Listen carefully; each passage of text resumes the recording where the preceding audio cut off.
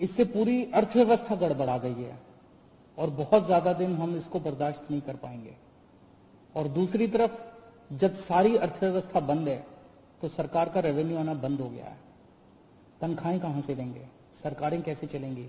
बिल्कुल बंद हो गया सरकार का रेवेन्यू आना।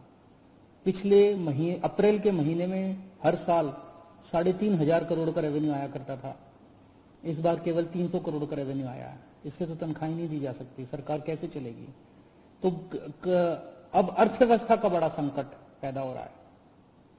तो मेरा अपना यह मानना है कि लॉकडाउन के पीरियड को हमें तैयारी करने के लिए, कोरोना की तैयारी करने के लिए इस्तेमाल करना चाहिए था, जिसका हमने भरपूर इस्तेमाल किया। ऐसा कभी नहीं हो सकता कोरोना आ गया है, कोरोना रहेगा, कोरोना ज़ीरो हो जाएगा कोरोना का एक भी पेशेंट नहीं होगा, आगे कोरोना कभी नहीं होगा, ऐसा हो ही नहीं सकता, पूरी दुनिया में नहीं हो रहा। ये संभव ही नहीं है।